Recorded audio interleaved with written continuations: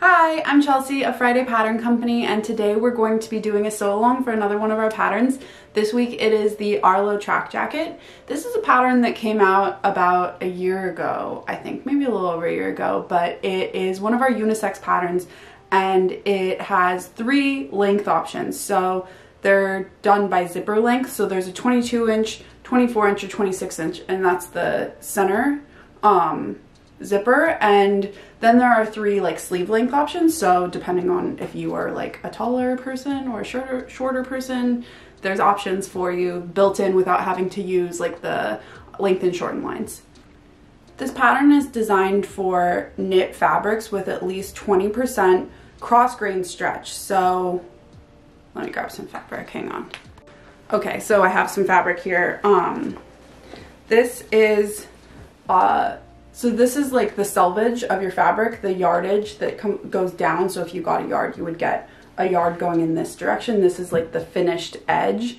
And the stretch that goes between the finished edges is your cross grain stretch.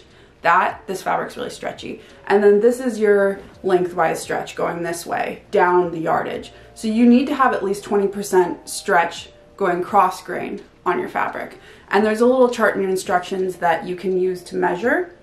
Um, generally speaking, the stretchier your fabric is for this project, the more difficult it will be. So the fabric I'm using doesn't have a lot of lengthwise stretch and that really helps me because the zipper length is fixed. So if your center front grows at all, your zipper won't fit. But don't worry. I have tips and tricks that I'll share along the way to make sure that no matter what fabric you're using, we can make it work. This pattern goes up to a 60 inch chest, uh, 63 inch hip, and I will be making a size medium in the short length um, with short length sleeves. That's, I like it kind of cropped, so it's not like a super short jacket on me, but it's like uh, kind of hits more closer to like my belt line. I have a version that I made where I made the 24 inch, and yeah, that just gives me a little bit more coverage, but um, I tend to prefer the slightly shorter length. So I'm doing the 22 inch with the 22 inch like shorter sleeves. And if you like these types of videos, make sure that you like this video and then also subscribe to our channel because we're going to be doing a bunch more. And yeah, let's get started.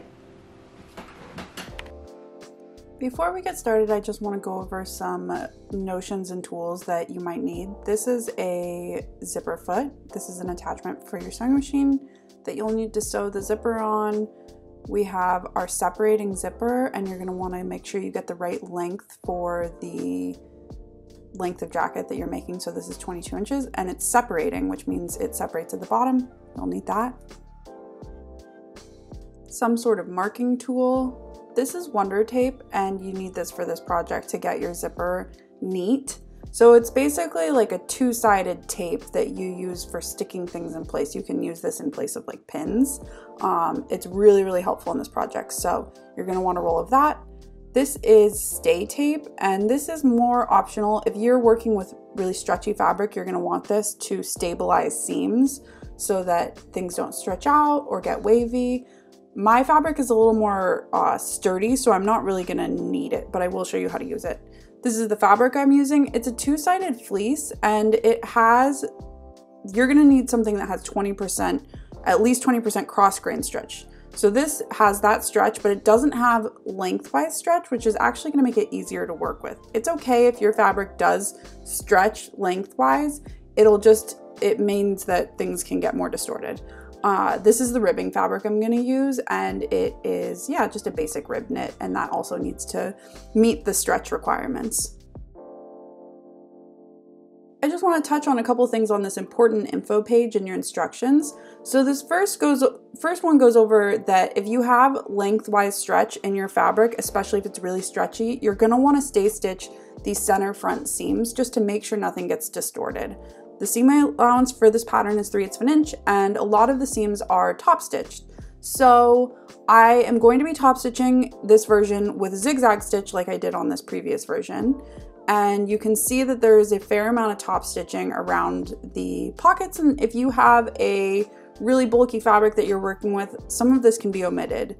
We'll go over that as we sew. And then I just wanted to show you this other version I've made where I used a twin needle. And if you have that, that's also an option for your top stitching. Here's just a quick tutorial on stay stitching slash adding stay tape to that center front. It's really important because our zipper, our separating zipper length is fixed, so our pieces can't grow at all or the zipper won't fit. So this stay tape that I have there are types that iron in. This is a sew-in one, so it just gets aligned on the wrong side of the fabric and you can just stitch it right on and that will make it so that that seam can't stretch.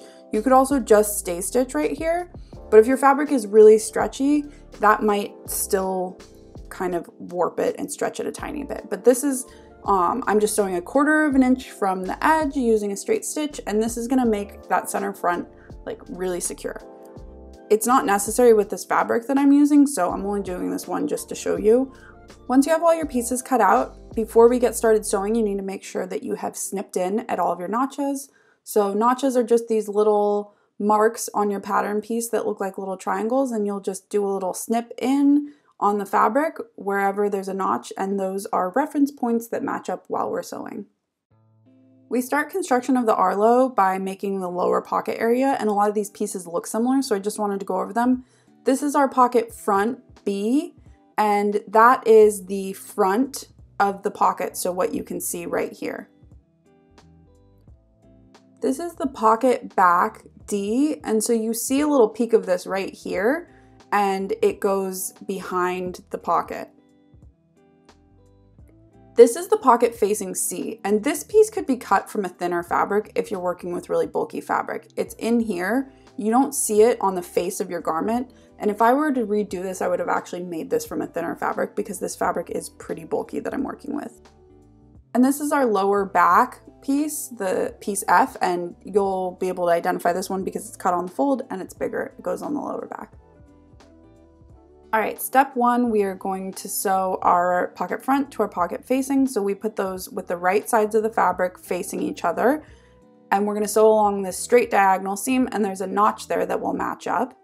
And you'll use a 3 8 inch seam allowance and a stretch stitch. So I'm using a zigzag stitch for this. And you'll just sew along that seam. After you sew it, you're gonna flip it right side out and give it a press. This fabric is not something that I can press, so I'm just kind of smushing it into place. And then you will top stitch. So you can use, I'm using a zigzag stitch for my top stitch throughout this project, and I'll just do that a quarter of an inch from the edge of the fabric. And there's that done, and you'll just repeat that with your other set of front and pocket facing. Now we're gonna join the pocket facing to the pocket back. And I'm deciding here because this fabric technically has two sides that are nice looking. And I know that we get a peek of the pocket back. So I'm deciding whether I want to do like the fuzzy all the way or do like a peek of the flat on the pocket back. So anyway, that's what's going on here. And I decided that it would be nice to have a little bit of contrast. So I am going to decide that the fleecy side instead of the more boucle looking side is the right side for the pocket back and the back gets joined to the facing along this shorter straight seam and there's a notch that um, matches up and you'll just use your 3 8 of inch seam allowance. You're going to want to finish this seam. So technically you don't have to finish the seams on knits, but if you want it to look like really tidy and professional, you're going to want to. And because this is like fuzzy and is letting off some fur, I am serging these edges to just get that really clean. So you'll see serged finishes in this project. Next up, we are going to anchor the front to the back along that curved edge and then down the side and across the bottom just to hold the facing in place. So we're gonna sew through all three layers and I'm just clipping in place and then I will sew a quarter of an inch from the edge when I do this, not in the seam allowance because we don't wanna see this uh, seam later. And you'll repeat that whole process with both sets of pockets. Now we join our upper front A to our pockets and we're gonna pin them right sides together. I start at this notch in the center, so you've got a matching notch on the curve of your pocket back and anchor that there. Once that's matched up, I like to match up my center fronts. So there's a straight edge on your the front of your upper front and your pocket pieces. So I just match that up. And then you can just start to add your clips or pins uh, along the curve to just make sure everything is perfectly in place. And then you're gonna take this over to your machine and use a 3 8 inch seam allowance to sew down this curved edge. After you sew that seam, you're gonna finish it and then you'll push the seam towards the body of the jacket, not towards the pockets, and you will top stitch it a quarter inch from the edge going around the curve. And if you're working with really bulky fabric, this might be one of the top stitching, the times that you omit the top stitching. Uh, it's up to you, but you'll repeat that process with both of your front sets. Now we're going to join our upper back E to our lower back F along this curve. And again, I'm kind of deciding here whether I want the contrast with the texture or to just do fuzzy straight across. And I think I'm going to go for the contrast. So we'll lay these pieces out right sides together and match the notches. So there's a notch at center back that you can match on each piece. And then there are notches along the curve that also match. So I like to just kind of anchor the points with notches and then go back and put a couple clips or pins in between. Once you have everything all set up nicely, you'll take this over to your machine and sew it using your 3 8 inch seam allowance and then you'll finish the seam, press it up towards the body and we'll give it a top stitch. Again, you can omit the top stitching if your fabric is really bulky. And here is all of that done. Now we're gonna join our front pieces to our back piece at the shoulder seams. So lay your front pieces out on your back, right sides together, and just match up those shoulder seams. Once you have those pinned in place, you can use a 3 8 inch seam allowance, same as we've been doing, sew across, finish the seams, and then these seams get pressed towards the front body and top stitched if you want to. That's an optional top stitching spot. Once you have that all done, you can lay your project out and we'll get ready to join the sleeves to the body. The sleeve gets sewn in flat, which means that we're sewing it in before we sew the side seams, and it this curve creates kind of a little bit more of an ordeal when we're pinning it in, but don't worry, it's easy. So you've got a single notch on the front of your sleeve, a single notch at the top of your sleeve, and then a double notch on the back. The single notch matches up with the front body, the double notch matches up with the back body, and then that one at the top matches up with your shoulder seam. So I like to start there by placing a pin and that kind of anchors it, and then matching up the front notch, and then I'll match up the back, and then you can add in uh, your pins or clips in between to get everything pinned in nicely. Once everything's situated, you're gonna take this over to your machine and sew it using a 3 8 inch seam allowance. You'll finish the seam and then you can top stitch it if you want. And you would do that by pressing the seam towards the body and top stitching along the body a uh, quarter inch from the seam. Once you have that done, it should look a little something like this, and you're gonna repeat it with both sleeves. And then now we will sew up the underarm and the side seam all in one go. So you'll flip your project inside out, matching up the underarm seam on the sleeve and the side seam. Okay, so we'll start pinning the seam in place and there are a couple spots that you want to match perfectly. So I like to start by anchoring it by pinning at this underarm seam, making sure those are matched up perfectly. And then you can match your sleeve underarm up. So you can start down at the hem, make sure that's matched up, and then put a couple pins in between. And then moving on to the side seam, you wanna make sure that this seam matches up really well because you're gonna be able to see it on the side of your garment. So I make sure that those are matched up perfectly with a pin or a clip, and then you can add in your pins in between and also down to the hem. Then you'll take this over to the sewing machine and you'll use a 3 8 inch seam allowance just going all the way down and then you can finish this. You don't top stitch this seam and yeah. And don't forget to repeat that on both sides and here's what it looks like all finished up. In this next step, we are prepping the collar and you would press one of these long edges under 3 eighths of an inch. Because I don't actually want to put any heat on this fabric at all, I don't think it would press nicely, I am going to fold the edge under and then just use a needle and thread to add a quick running stitch across. So I'm just kind of sewing this really quickly. And if you did this on yours and you could see this stitch, you could remove it after you have constructed the collar. So don't worry about it being visible. Um, on mine, you ended up not really being able to see it at all, so I just left it in on the finished garment, and no one is the wiser. Anyway, so I'm just sewing this up really quick, and then I'll have a nice folded under edge, and I can finish assembling my collar. Now we're going to join the collar to the body of the jacket, and we'll do that by placing it right sides together. The unpressed or unsewn under edge will be joined to the body at that neckline. And you know how I like to pin things. So we start with the notch at the center and then we work our way outward. So I'm just matching up that middle part and then you can work your way out to the outsides, add clips in between or pins if that's what you're working with. And yeah, get it all set up.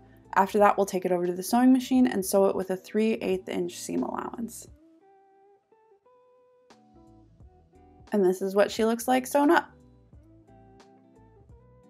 Now you're gonna grab your hem ribbing piece I and you're gonna press it in half, wrong sides together, kind of matching that long edge how I have here. And you'll notice I have a seam at center back. That's because my ribbing was narrow, so I had to add a seam allowance to the back of that piece and then just sew two together to make a one long ribbing piece and that is totally fine if that if you're working with a weird width of fabric you might have to do this um, now we're to join it to the hem of the jacket. So right sides together, you'll match up the raw edge of your hem with the raw edge of your hem ribbing. And you have, if this ribbing had been one piece, there would be a notch there, but instead we've got uh, a seam. So we'll just match that notch at center back up with the seam on our hem ribbing. You'll also match it up with the ends of the hem and your ribbing is a little bit shorter than the hem opening of your jacket because it's designed to be stretched a little bit so that it pulls in.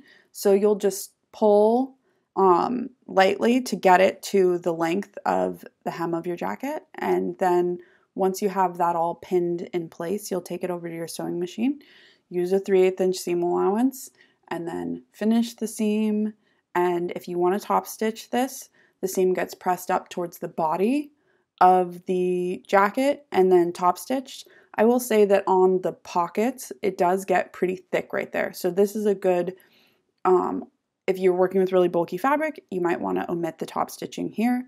It's totally up to you. I did it just to see, and I'm working with pretty bulky fabric, and it was totally doable, but yeah, it was a little bit of a hike at parts for my sewing machine.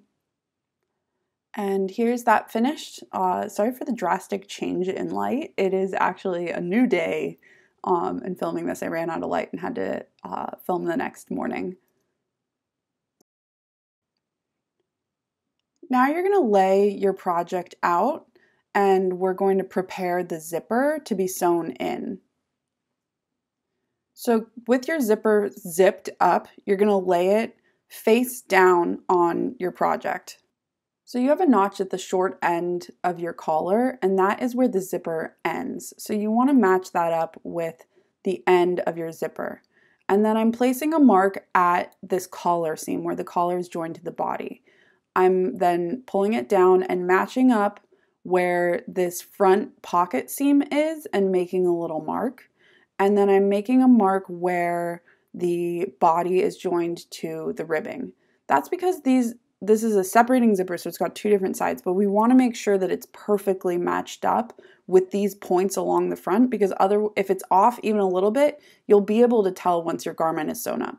So I have those marks on one side of my zipper and then I'm just transferring them over to the other side of my zipper so that when these two sides are separated, I will have that reference.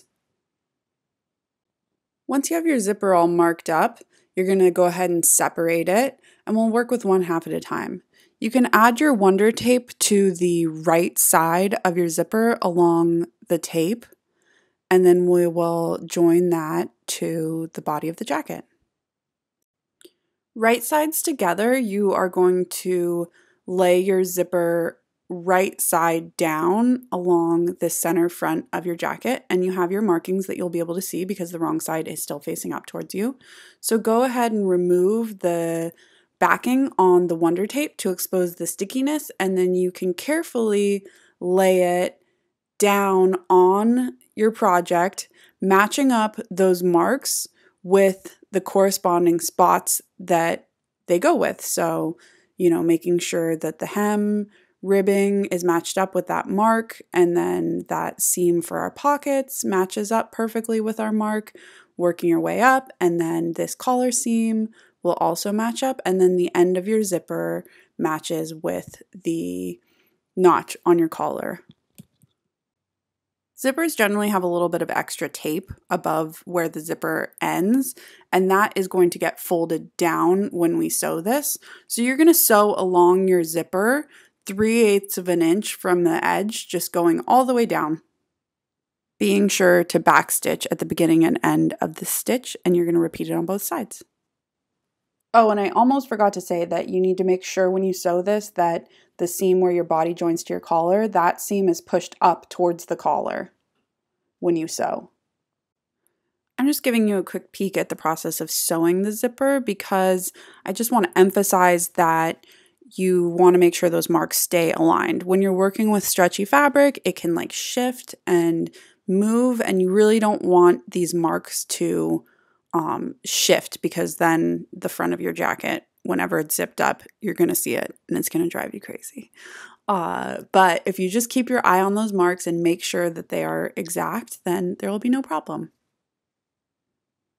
And here's a quick overview of just taping and sewing the other side just to show you that when you're sewing the half that has the zipper head on it, you can't really sew like near that because it's too bulky. So you can stop and lift up your presser foot and then slide the zipper up into the area that's already been sewn. Or in this case, I'm actually like taking it off the machine to show you so that I've stopped and then I'm just going to move the zipper head way out of the way so that its bulk is not interrupting my ability to sew and then just restart your seam and continue down to the bottom.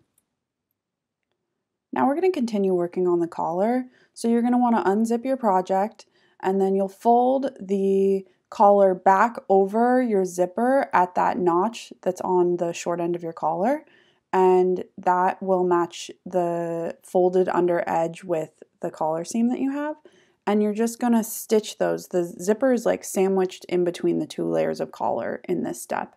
So you'll sew um, just down the collar, back stitching at the beginning and the end. And just make sure when you do this that the folded edge of your collar stays pressed under and that also the collar seam is still being sewn like it's pushed upwards towards the collar. You're going to repeat that on both sides and then you can flip it right side out and you can see how that top part of your zipper is now enclosed and we're just going to finish this collar. So you will push the folded edge so that it matches up with the seam on your collar and then that seam allowance is pressed up into the collar. So you'll just um, pin this in place on the right side because you're going to stitch in the ditch around the collar to create a really nice finish going around the neckline. And it's a kind of slow process, but I do this by just kind of getting making sure that that folded edge is in place and then flipping my project over to the right side and then placing a pin right in that seam so that I know that when I sew it that it's being held over that seam line. And now you're going to stitch just right along the seam or right below it if you're using your zigzag stitch and then um, that'll just make sure that you're catching that folded edge on the underside but you are sewing from the right side of your project. And then here is what that looks like all finished up. We have one more step to sew with the zipper. We need to top stitch it down, but if you are working with bulky fabric at all, or honestly with any fabric, you're gonna wanna trim down this fabric under the zipper. So just carefully snipping up along the seam allowance and making sure not to snip into your zipper tape at all, but just removing whatever bulk you can from this area is going to make your sewing your zipper easier and tidier. Now you are going to push your zipper teeth outward and you'll use wonder tape on this underside of your zipper to pin it in place. This is especially crucial if you are using fabric that shifts around or is stretchy at all because on this seam, when you're top stitching it, it can shift. So here I have that done. I've just, I taped it down underneath and then I uh, sewed along, just top stitching along this center front seam. Okay, y'all, hard part's over. We're almost done. Get excited about this jacket. So we just need to do the cuffs. You're gonna fold them in half right sides together and then you'll just sew down the side seam using your 3 8 inch seam allowance. And the reason I kept my pattern piece with me was to make sure, because they're kind of rectangular, you wouldn't want to accidentally sew it the wrong way, like accidentally join these like longer edges, just to be safe. Once you have it sewn, you will fold it in half, um, long sides meeting each other, and you can kind of tuck the seam so that it's all going in one direction and lays flat. And then you will grab your project and we will sew this to the sleeve hems. You'll want to grab your sleeve and slip your cuff onto your sleeve right sides together so that the raw edge of the hem on your jacket and the hem on your ribbing are matched up.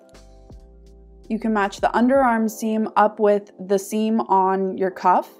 And then just like your hem ribbing, your cuff is a little bit smaller than the hem opening of your sleeve, so we'll have to stretch it a little bit as we sew.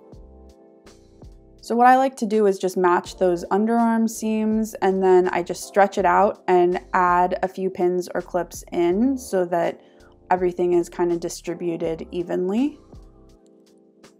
Most machines have a kind of throat thing that you can remove here to have a smaller um, opening on this throat and you could actually pull the sleeve over it, but mine doesn't. So I'm gonna show you how if your machine doesn't do that, you just kind of have to work this under the sleeve or under the presser foot. So I'm kind of laying it flat and then very carefully moving it around so that I'm not like catching any other stuff. The one time that this sewing machine is actually like not very helpful, but you can make it work. It's just a little bit of extra struggle. Once you've sewn all the way around the sleeve hem, you will repeat on the other side and then finish your seams and then we are done. Ta-da! Here is the finished Arlo and I just really love how it turned out. It's super warm, super cozy, and I'm literally wearing it as I record this voiceover and it's definitely a essential winter layer for me. Put it under a big warm jacket wear it on its own. It's just wonderful. Kind of Patagonia vibes, but um, much cheaper to make. Uh, yeah. Anyway, I hope you enjoyed this. Feel free to leave any questions in the comments below, and I'll see you next time. Bye.